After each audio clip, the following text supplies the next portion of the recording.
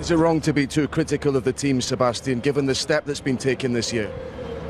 Well, it's normally you're critical, especially if things go wrong. So it's part of our job. But uh, you know, I think I need to protect them. We've done an incredible job so far. Obviously, Peter the last uh, last two races with the reliability issues.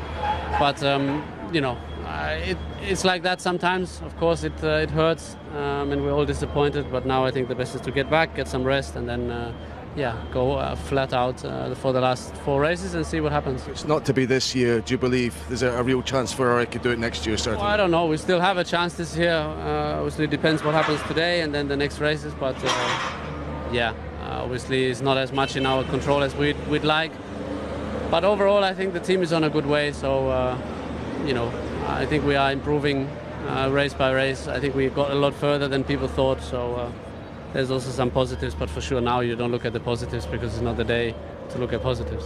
Sebastian, would you say that you lost the title today, or? I don't know. I think you calculate or you uh, count the points at the end of the year and see how many you have. Then you look back, but uh, for sure, not finishing the race doesn't help.